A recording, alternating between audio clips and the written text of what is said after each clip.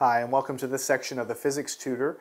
And in this section, as promised, we will continue talking about Gauss's law in the final uh, section of the types of problems that we're going to study with Gauss's law. In this case, it's going to be spherical symmetry.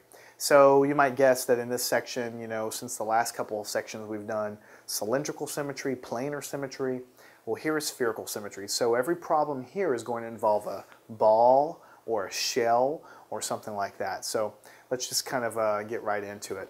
What I want you to consider is a shell of charge. So not a piece of metal or anything like that, but just imagine floating in space if somehow electrons or protons gathered together and formed a nice three-dimensional beach ball with a thin, you know, thin uh, th uh, uh, uh thickness to it, but it's so it's hollow on the inside but it's a shell. That's what I want you to think about. And so if you had an arrangement like that, it might look something like this. You might have, you know, all these charged particles or something like that here, and there's, you know, there's some thickness to it, so I'm kind of draw, trying to do some randomness to it here just to kind of show you. Right, so it's a thin, uh, a, a, thin diameter, I mean a thin uh, walled shell of charge. And if we were going to label something, we would label this the capital R, okay? And let's say it had some total charge associated with it. So we know how big it is, and it had a total charge uh, Q. Total charge Q, which is what you might expect. So Q is on the, on the surface here. Uh, the first thing we want to calculate, we'll just kind of go and learn by doing a problem here. What is the electric field inside of this shell of charge? Inside the shell of charge.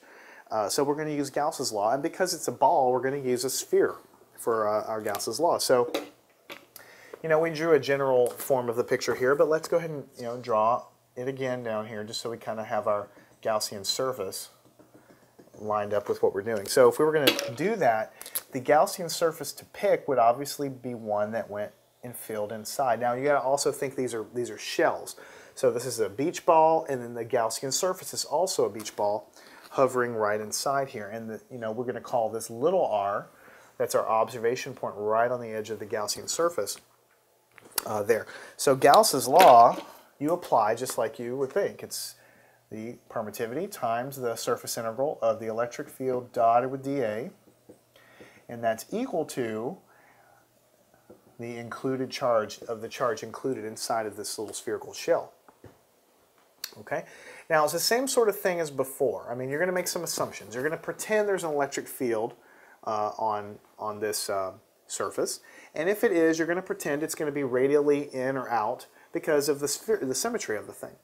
And uh, you're going to assume it's constant. And that kind of makes sense because of the nice spherical distribution of everything. So if you make those assumptions, then you can basically write this as a multiplication like we've, we've been doing, which is effectively pulling the electric field out of the integral and then integrating the surface area of a sphere. So what you're going to have is E times 4 pi r squared because that's the surface area of a sphere. And that's going to equal to the charge included inside of the sphere, which is 0 because there's no charge in here, because we're looking inside the shell of charge. So you can see by doing this, if you take and solve for E, that the electric field is 0 inside the shell. which also is when r is less than capital R, because remember capital R was the um, diameter of the shell, and little r is the diameter of my little Gaussian surface that's kind of inside there. So the electric field is zero inside there,